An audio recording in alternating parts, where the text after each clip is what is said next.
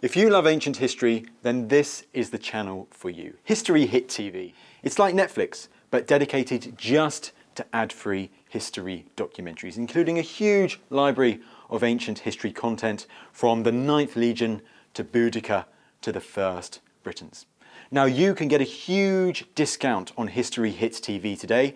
Simply check out the details in the description below and make sure you use code Odyssey on sign up. Anyways, on with the show.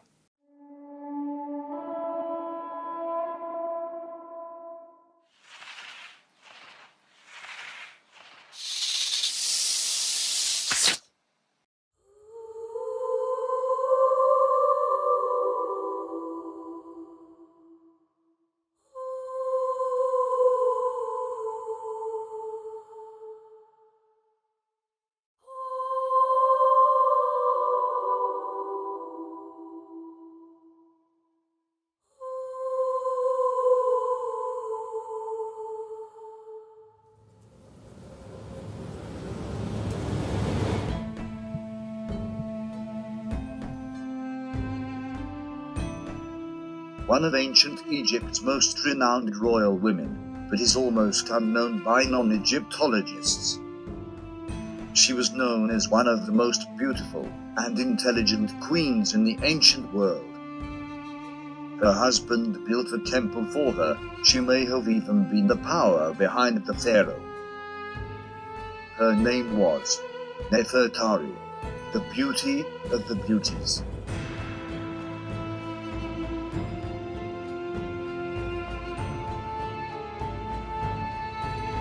But who was this mysterious woman?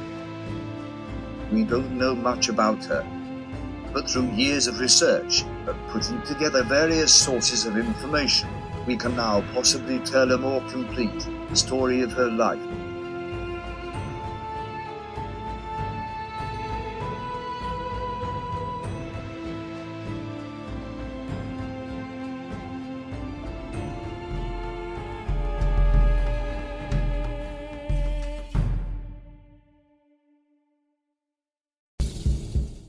Nefertari lived during the early 19th dynasty. She was married to Ramses II.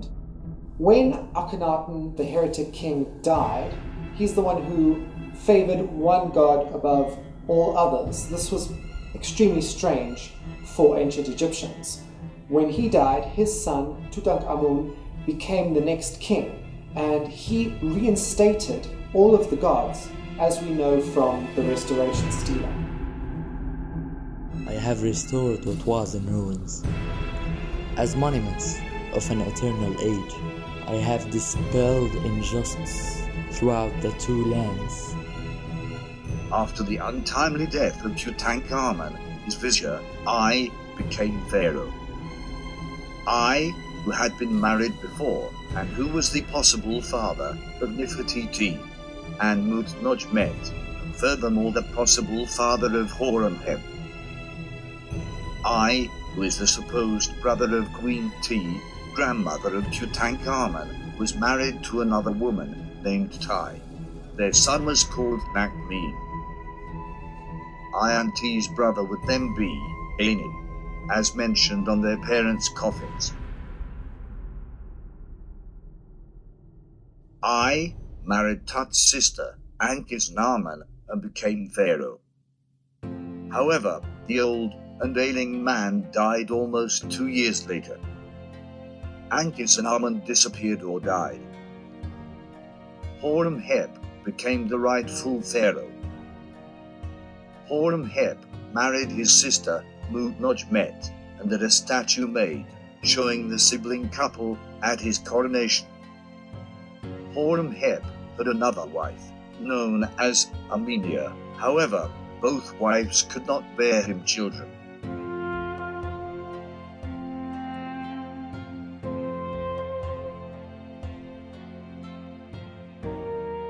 End of the 18th dynasty is nothing more than a mess. With Tut having no children and Horemheb having no children, the family lines were nearing the end. You may be asking why are we having this short recap? But the family line of Ay, may come back later on in this documentary.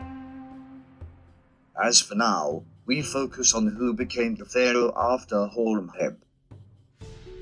Ramses I was of non-royal birth and was born in the former Hyksos capital region of Avaris, on the border of Sinai and Israel.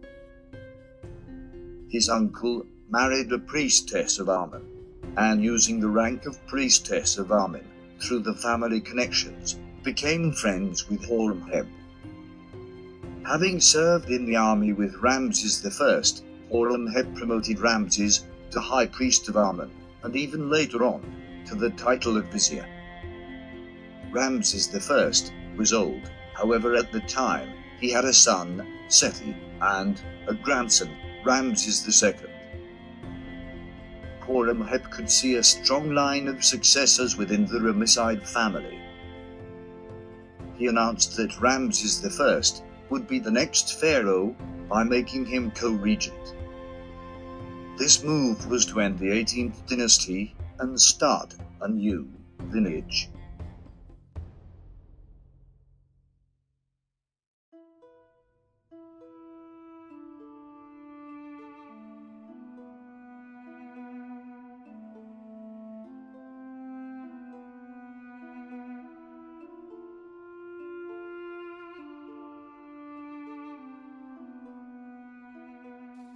When Ramses I died, his son, Seti, became pharaoh.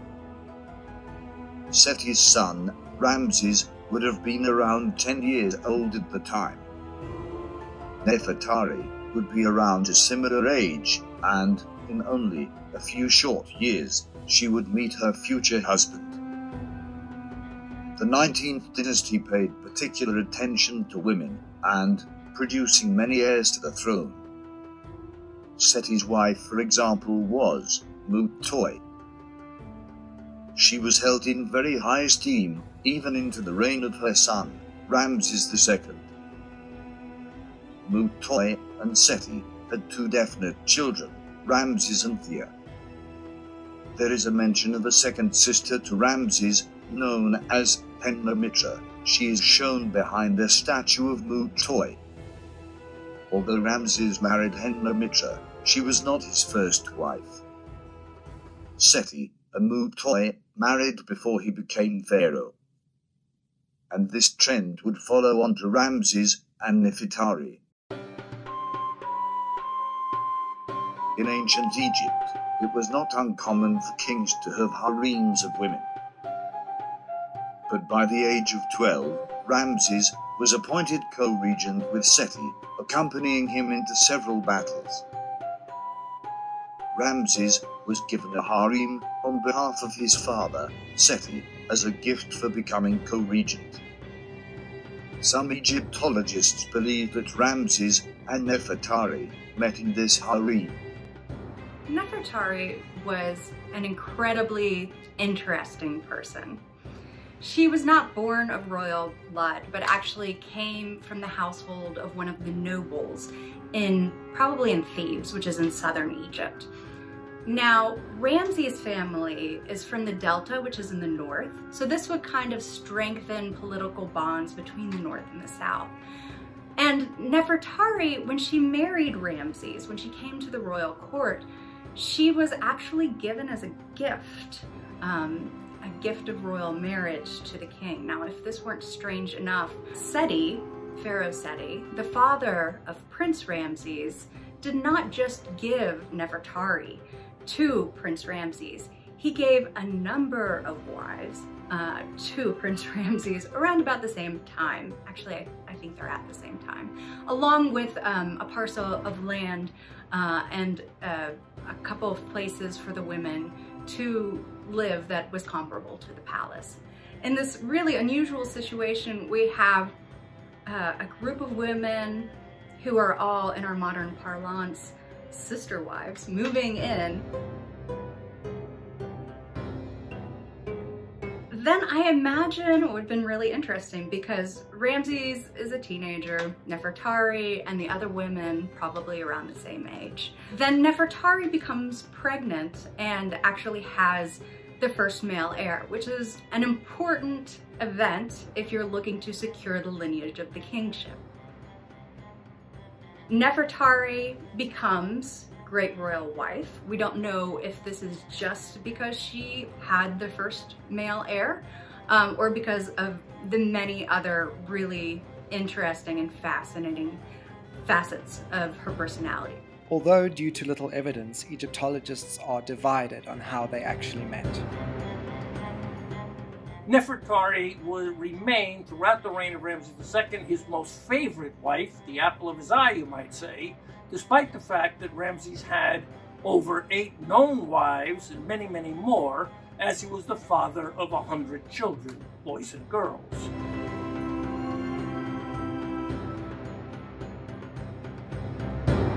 As his father and his mother had met and married before becoming royal, it is probably that Ramses and Nefertari met under similar circumstances.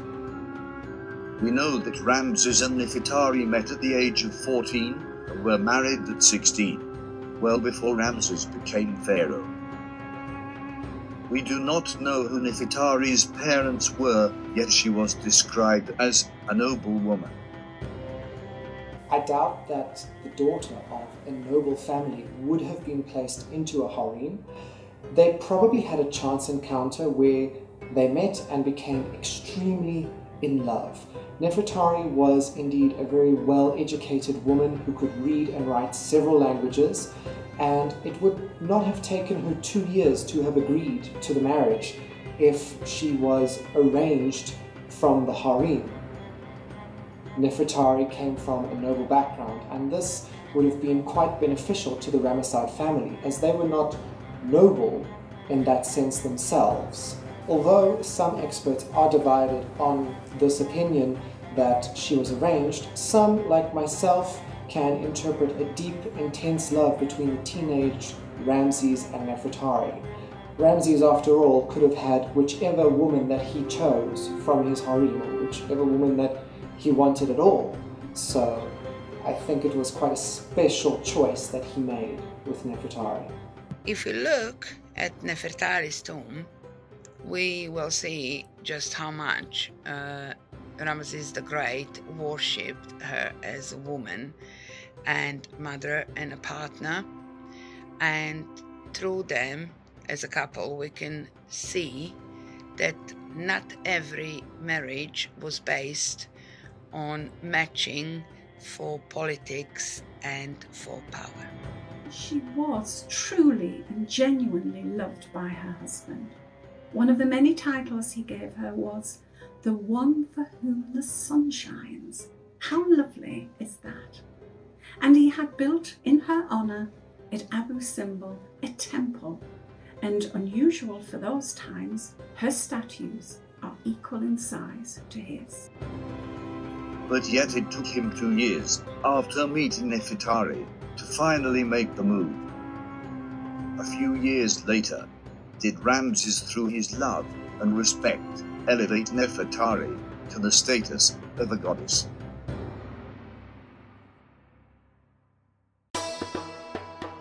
Once they were married, Ramses' mother had taken personal care of coaching Nefertari into being the ultimate queen. We know of the close relationship between Nefertari and Mutoi from a procession at Abydos showing Seti, Mutoi, with Ramses and Nefertari behind.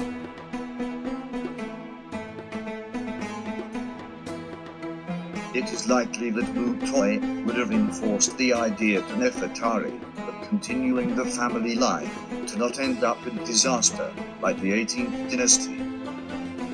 As this became one of Nefertari and Ramses' biggest ambitions.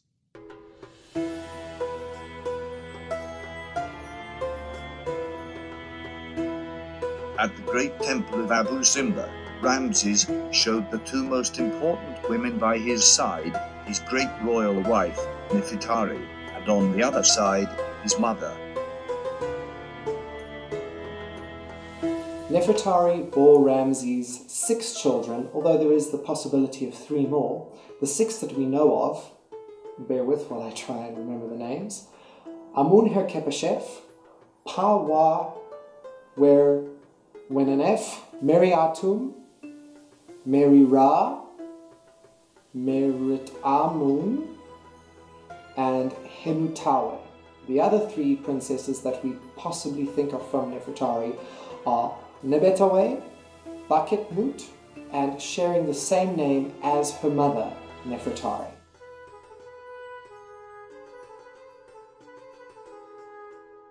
Probably one of the largest, if not the largest, royal family in ancient Egyptian history. Ramses is prolific. Uh, he has approximately 100 children. So, these children of Nefertari's have 90 plus step siblings.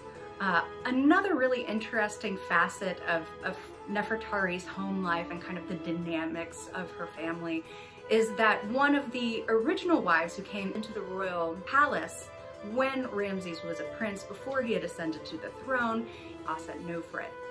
And Aset Nofret also bears many children to Ramses the Great. Uh, she actually has his second male heir. And she goes on to live um, for essentially Nefertari's whole life. Now we never see this in images, we always see just Nefertari depicted as she served that vital semi-divine role. Nefertari is one of the greatest queens of ancient Egypt, known for her ravishing beauty, beloved wife of the great pharaoh Ramesses II, and a god's wife of Amun. She eventually ascended into divinity and was worshipped as a god herself.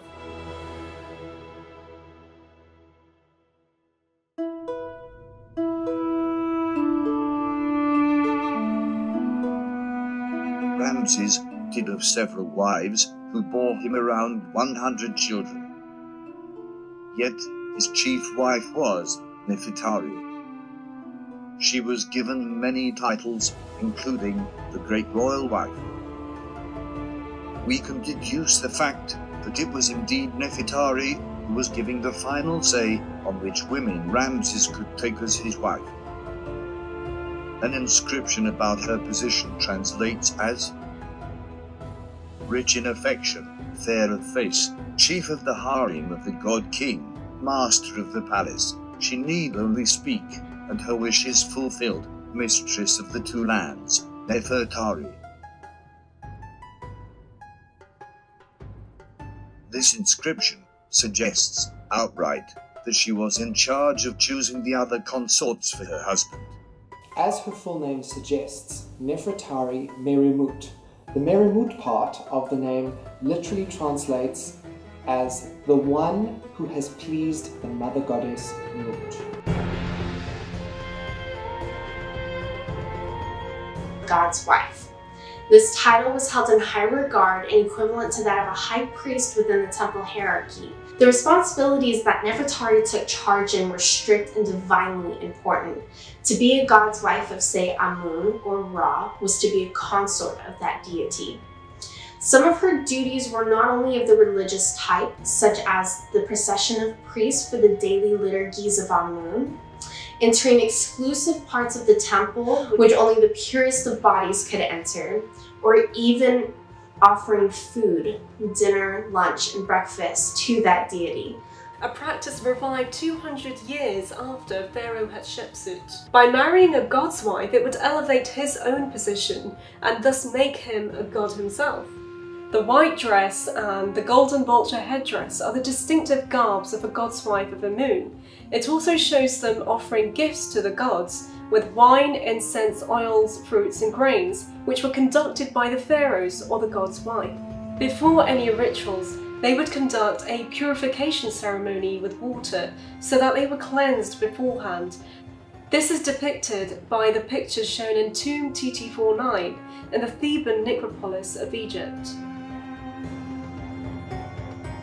Mut was the wife of the god Amen. Therefore, by Nefertari sharing the title with Mut, she was instantly connected with the chief god and his wife, and furthermore, making Ramses as Amen himself. The couple were the earthly embodiment of Amen and Mut.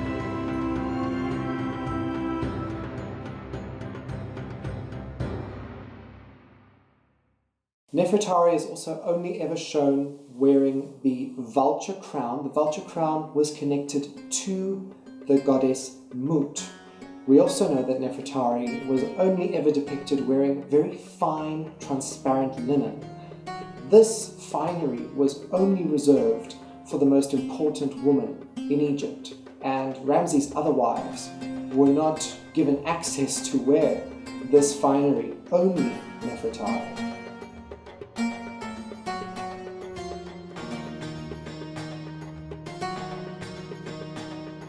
God's wife was the highest rank of a priestess. Nefertari was awarded this title and would perform daily rituals at Karnak temple dedicated to the god Amun. Once a year, the festival of Opet would be held to join the two temples and the two gods, Amun and his wife, Mut. This procession would have been led by the earthly embodiment of Amun and Mut, Ramses and Nefertari. It is at Luxor Temple that we can find some of the best wall inscriptions of Nefertari and some exquisite statues of the pharaoh with his wife supporting her husband symbolically, shown at his knee. Even on these statues, we get the idea of the beauty of Nefertari, as well as an idea of her fine linen dresses that delicately reveal regal woman's soft curves.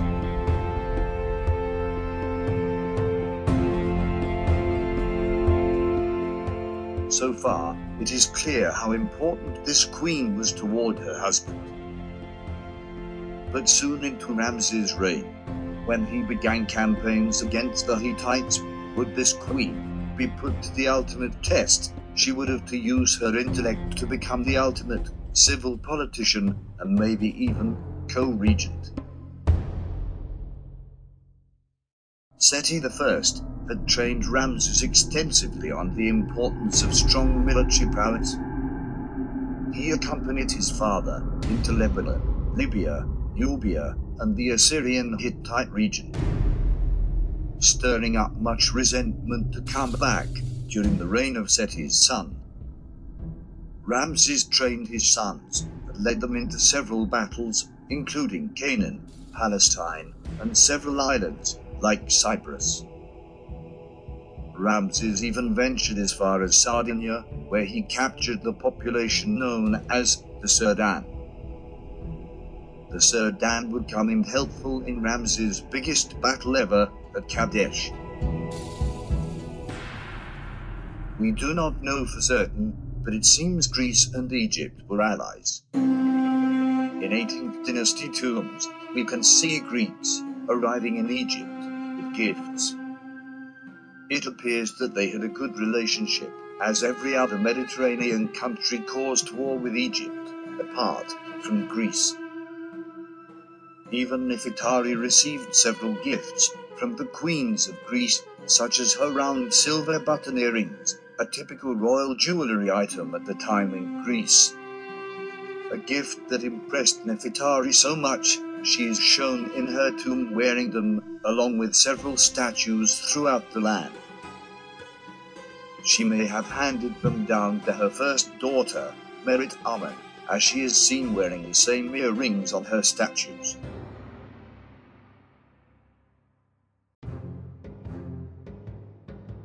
War was upon Egypt. Ramses went into Asia Minor to go and conquer cities, on his way north to the Hittite stronghold of Kadesh. Ramses' vizier at the time, Paser, was not promoted to the overseer, basically, of Egypt at that time. It was Nefertari.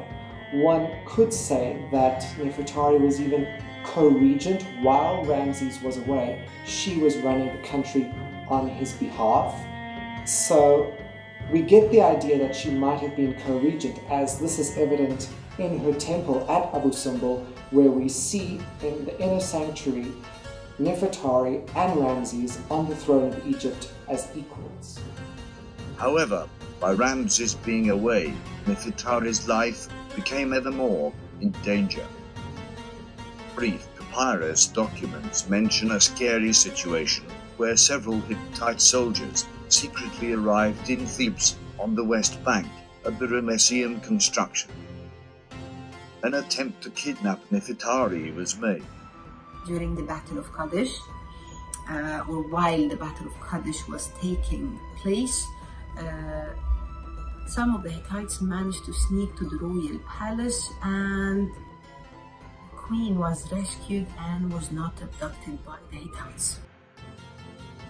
Luckily, one of her ladies in waiting was able to alert the guards in time. This event would have infuriated Ramses upon his return.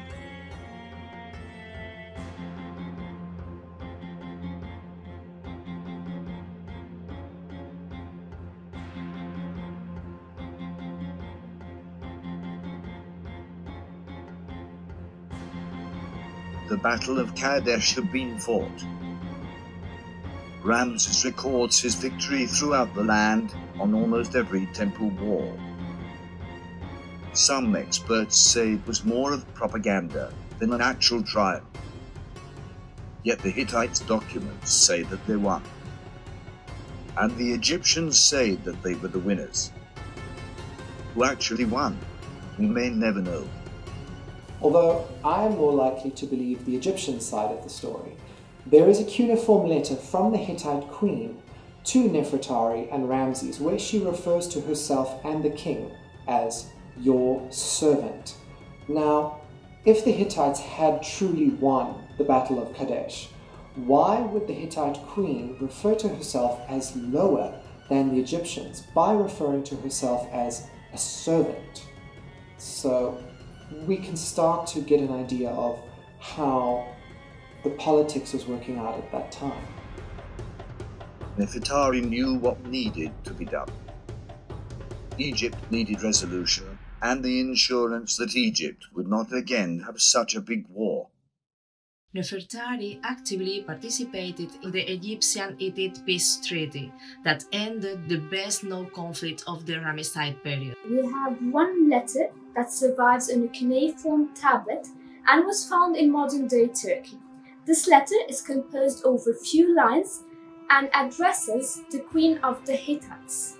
She was a true partner to Pharaoh Ramesses, using her skills and charm to build a strong diplomatic relationship with another powerful and influential woman. She's one of the only queens of pharaonic Egypt who engaged in a diplomatic correspondence. Through her diplomacy, she wrote several letters to the Hittite queen Puduhepa. Some of these letters remain, and they show great affection from Nefertari to the Hittites. She often even refers to herself as your sister. Whether she actually was the sister of Puduhepa, or if this was an affectionate gesture, Nefertari managed to charm the king and queen. She suggested peace between the two empires, a request that was greatly welcomed by both sides. The peace treaty is recorded at Karnak Temple as well as on a Hittite silver palette on several stelae and tablets. The treaty meant either party would assist to protect their best interests. The entire nation of Egypt admired Nefertari for this. The result of her political efforts was a peace treaty. To demonstrate the importance of that peace treaty, a replica of it is on permanent display in the UN building in New York. Another offer was suggested by Nefertari that the Hittite king was to send the princess for Ramses to marry. This marriage would ensure peace through family bonds. The letters were sent in person by Khaemweset, the son of Ramses, to the Hittites. The idea pleased the Hittites, and they sent back a princess for Ramses to take as his wife. Not only a pretty face, Nefertari probably saved Egypt from any further decline.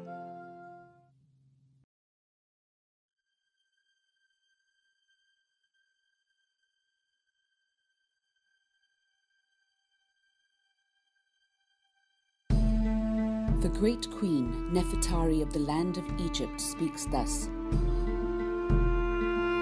To my sister Puduhepa, the great queen of the Hittite land. I, your sister, also be well. May your country be well.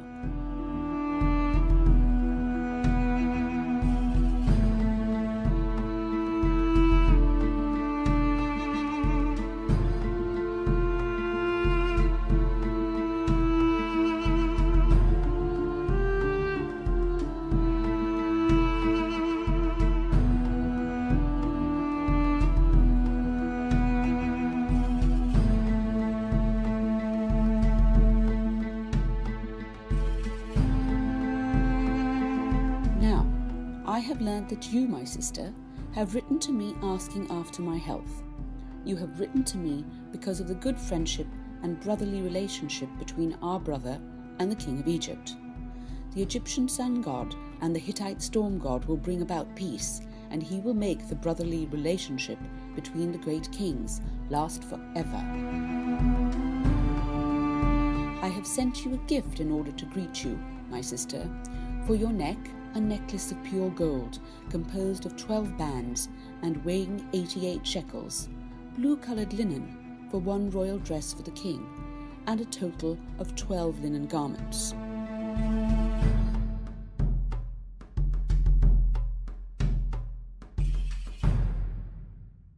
After her attempted abduction, Ramses took Nefertari on at least two campaigns where she was protected by her own set of bodyguards. Her temple, she is shown standing next to Ramses as he is in battle. Shortly after these two battles, Ramses took a step back.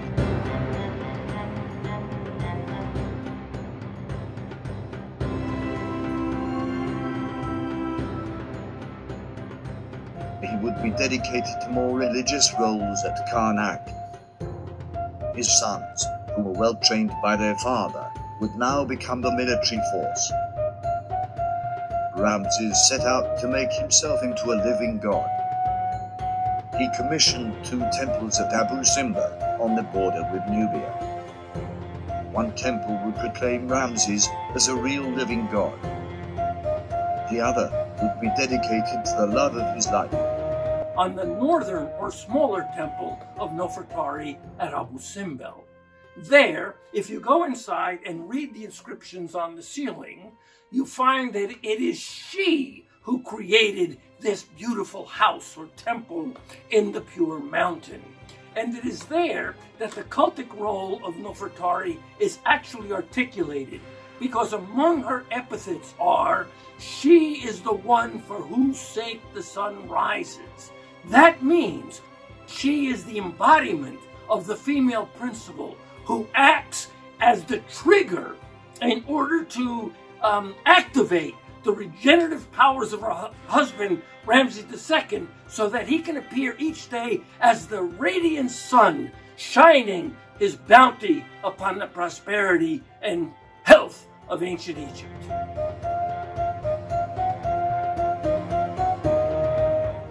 Many scenes in both temples show the couple performing several religious rites. We can see many scenes dedicated to the goddess of love, Hathor.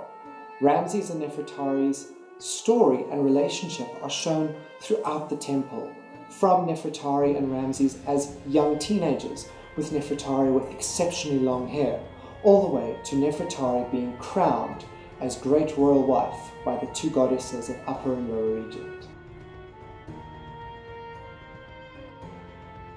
At the inner sanctuary of Nefertari's temple, she is shown at the very center, the most important person in this temple.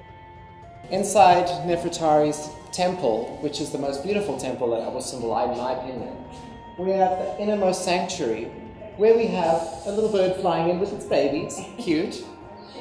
That's, that's love right there. But love here is, about, is abundant. It's Hathor, the cow goddess, and she is here with Nefertari in front of her.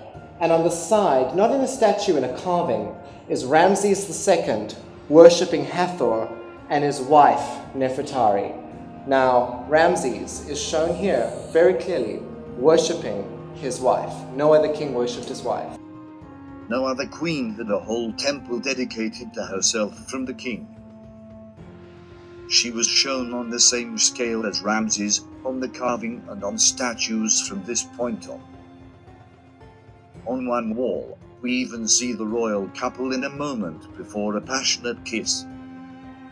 Nefertari shown as the goddess Mut, and Ramses shown as Amun. For me, she epitomizes the perfect woman. Why? Because she was highly intelligent, powerful, loyal, loving, and beautiful, and because she was recognized as a true equal to her husband.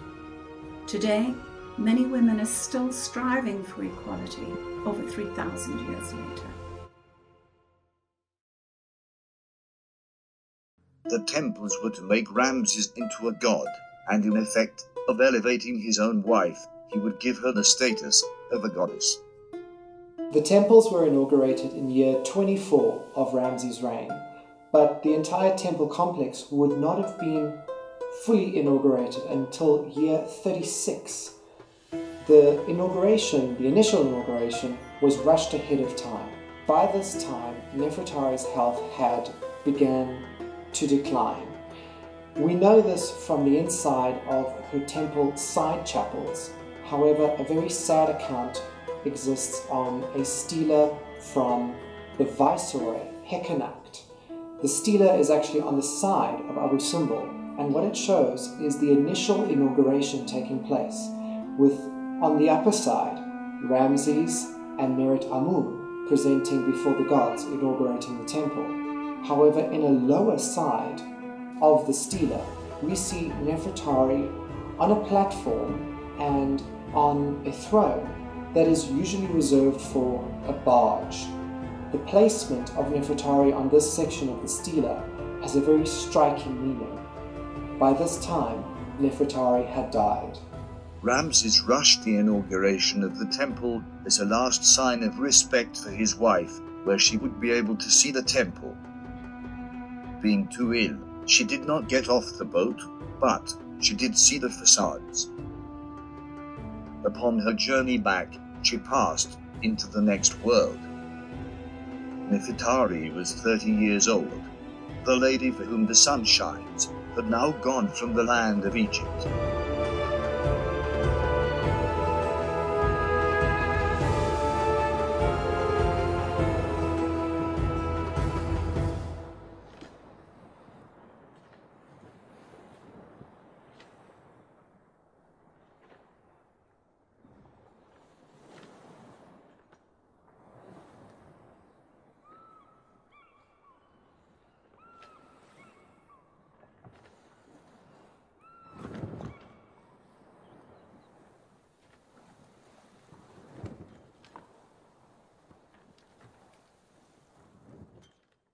Death of Nefertari must have been extremely devastating for Ramses.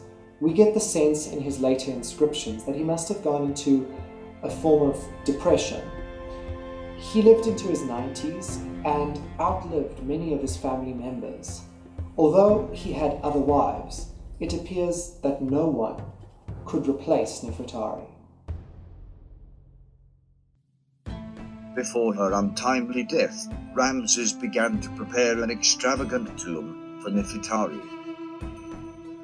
No expense was spared in the creation of her tomb. Even the artists who crafted the tomb must have been in love with the queen, as the art does not only show religious rites, but it exudes love from the people who made it.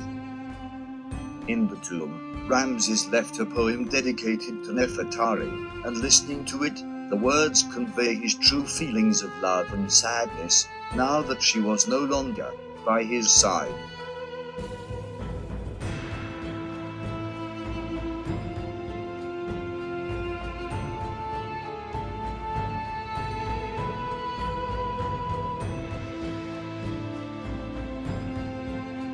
My love is unique. No one can rival her for she is the most beautiful woman alive. Just by passing, she has stolen away my heart. She who fills the colonnaded halls with her perfume, the land of bounty.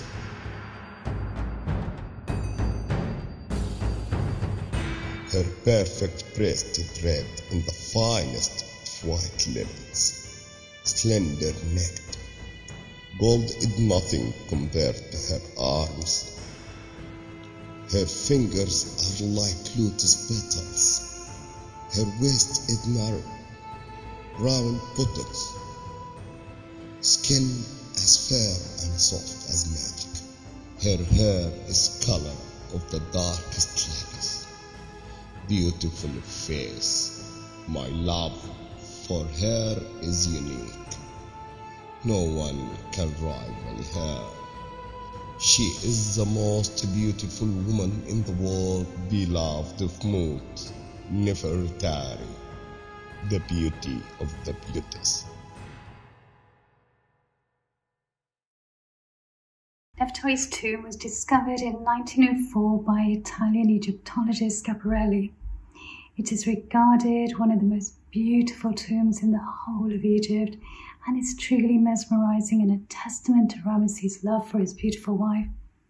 He referred to her as the one for whom the sun shines. Years after the death of Ramses, Egypt went into a decline, and tomb robbing was rife.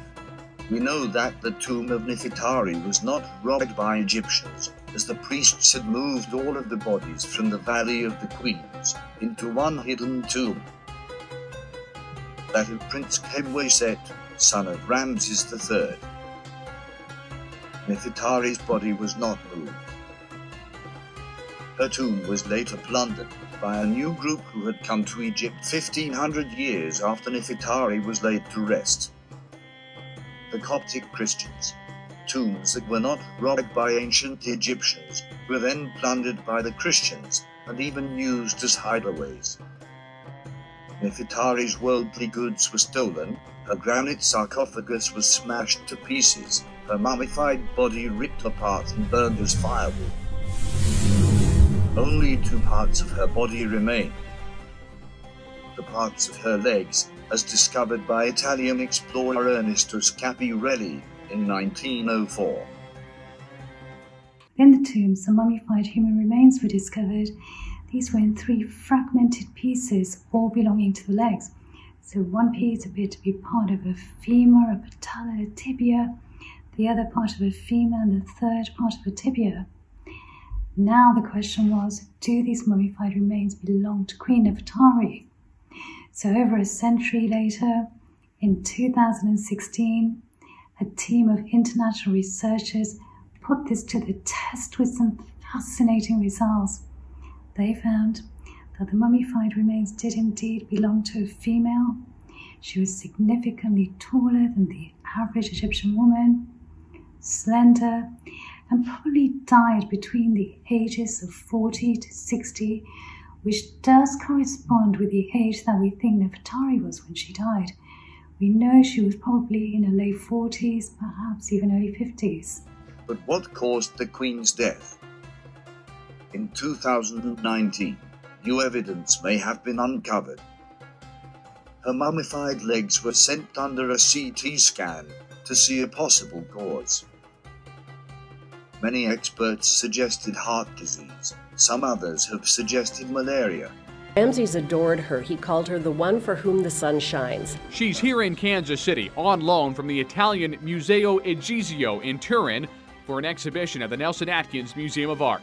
And we're going to look at life in Egypt. It's not about death, it's about how people lived 3,000 years ago. These scans This is the volume rendered reconstruction of the legs. will be analyzed by cardiologist and internationally recognized mummy research expert Dr. Randall Thompson. His team will try to determine whether or not Nefertari suffered from heart disease thousands of centuries ago. One of the main things we're looking for is whether there's any arterial disease in the leg. Uh, it's amazing that if there's calcium in the arteries, uh, it lays down, and 3,000 years, years later, you can still see it with a CT scanner. What's also interesting is that the embalming material was chemically analyzed using gas chromatography, and the chemicals that had been used during the mummification process were consistent with those used during the New Kingdom period. But can we tell how she died? This is very difficult, but the x rays did reveal cortical thinning and some porosity, which is a sign of osteoporosis, which is a disease in which the bones become so fragile that they can easily fracture. Another significant find of the x rays was arterial calcification, which is an indicator of arterial disease. So, to look at this in more detail, the latter part of 2019, she was CT scanned in St. Luke's Hospital in Kansas City. And cardiologist Dr. Thompson's initial thoughts were there does indeed appear to be arterial calcification.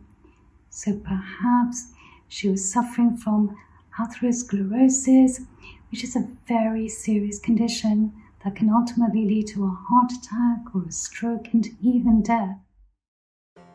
The few remaining artifacts from her tomb include an alabaster and gold perfume jar, an ivory container used for face creams, topped with a finely carved goose with some of the content still inside. Analysis shows her face cream contained frankincense, almond, cedar and argan oil extracts. An exquisite gold and red jasper stone ring with her cartouche. Several shabtis, alabaster jars, linen, broken wooden boxes, a pair of sandals and most interestingly, a tip of a walking stick with the cartouche and pharaoh Ay.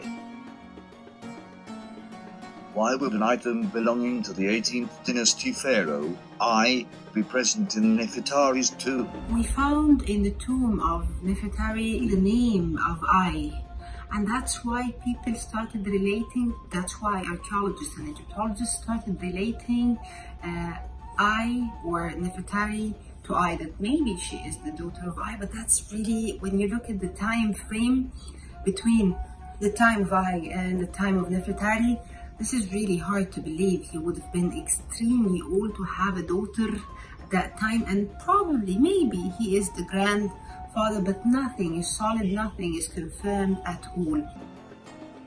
Some suggest it was placed there by accident during tomb raiding, but that is unlikely.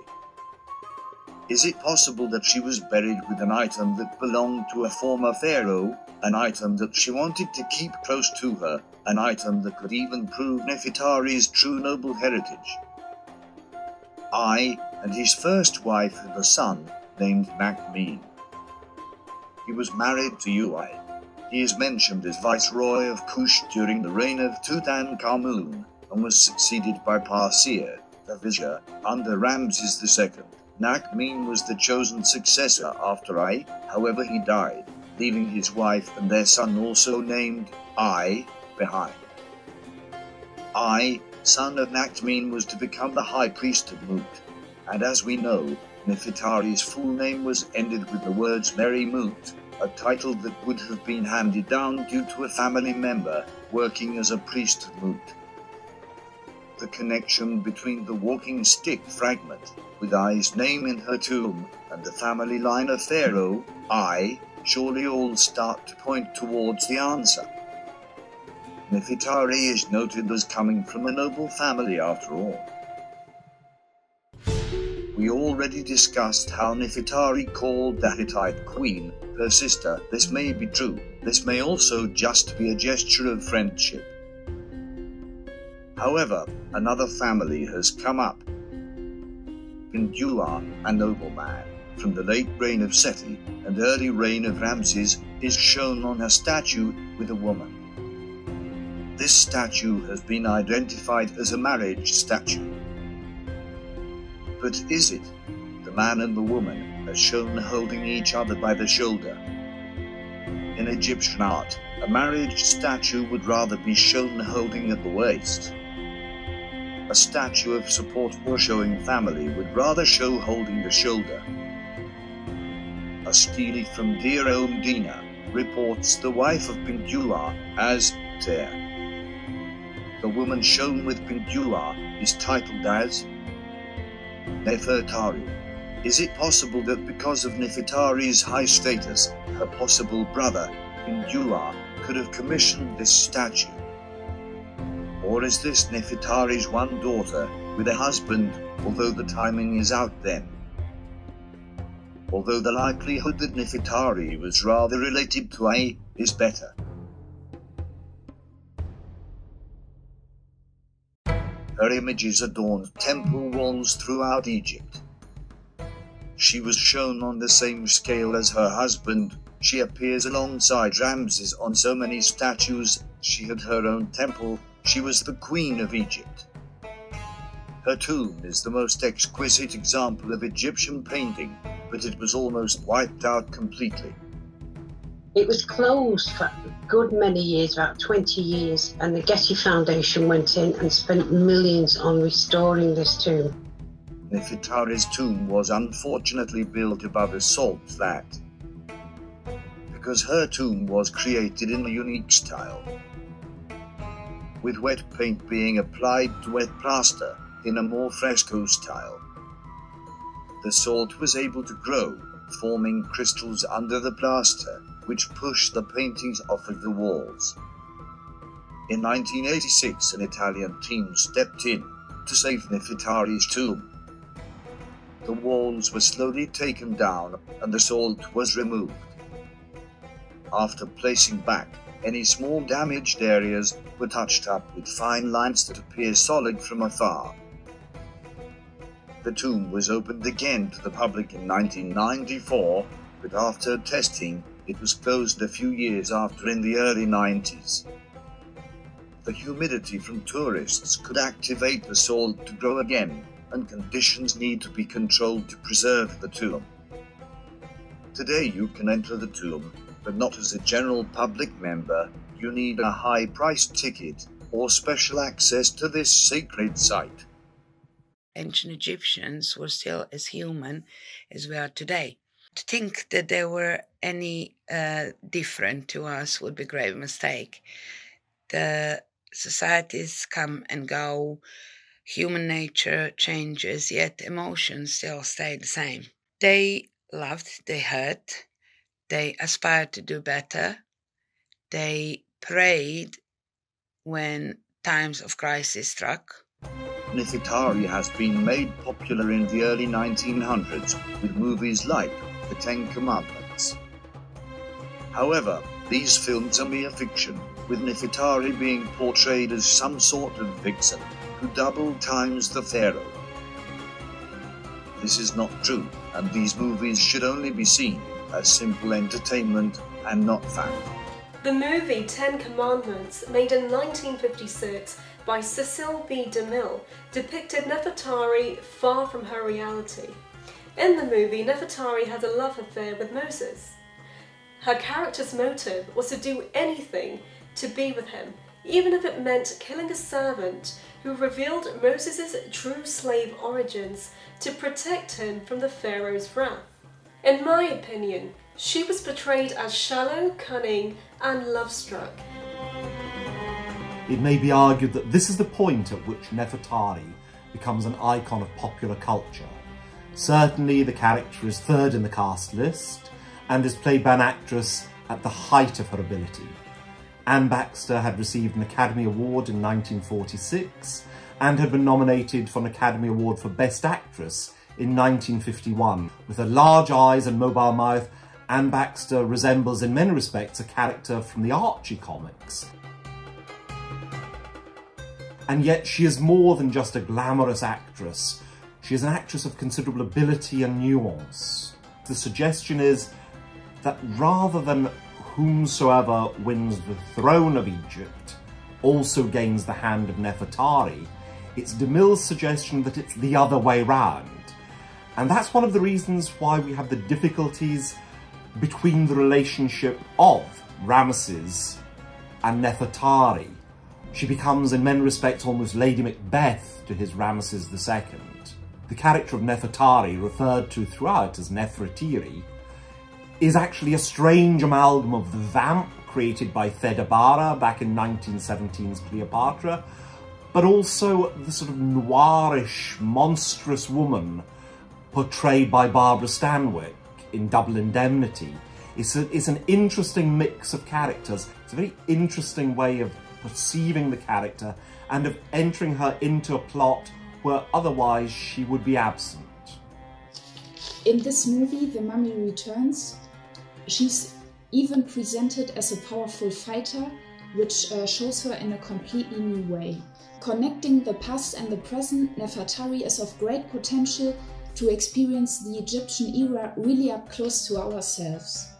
I hope that we can resurrect the iconic aura of Nefertari together and show to the world the magnificent person she was. Now, Ruth St. Denis was an exotic dancer with an artistic bent, and the story goes that in 1904 she was touring with her group and she saw an advert for the cigarette brand Egyptian deities, and from then on she became hooked by ancient Egypt and ancient cultures in general. And of course, 1904 is also the year that Nefertari's tomb was discovered. So obviously there is that link there too. Now, by 1910, Ruth St. Denis had created a series of dances called Egypta, and you can see, in my opinion, the influences of Nefertari's tomb and Nefertari in general through their dances, from the elongated eye shape to the sheer dresses that Ruth St. Denis and her uh, group of dancers were all wearing. Now, I love this because for me it is an example of Nefertari's beauty and grace reaching out across the centuries. And because Ruth St. Denis is credited with creating and defining modern dance, I think it's a great example of how Nefertari is still with us and still influencing us today.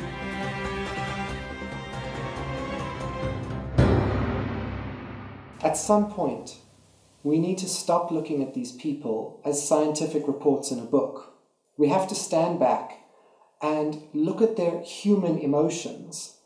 And by doing this, we might be able to see and understand their history in a more personal way. I have visited Nefertari's tomb a couple of times, and each time it is an overwhelming experience.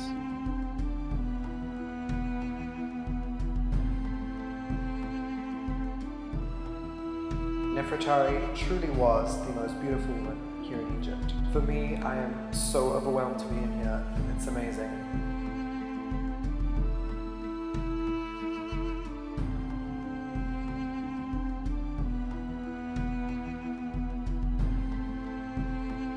Something interesting you'll notice is that in her tomb, there's not one depiction of her husband, Ramses II. And I like to believe that she is shown on her own here because Ramses loved her so much that he wanted to pay tribute to his great wife by dedicating this tomb, this incredibly magnificent tomb to Nefertari.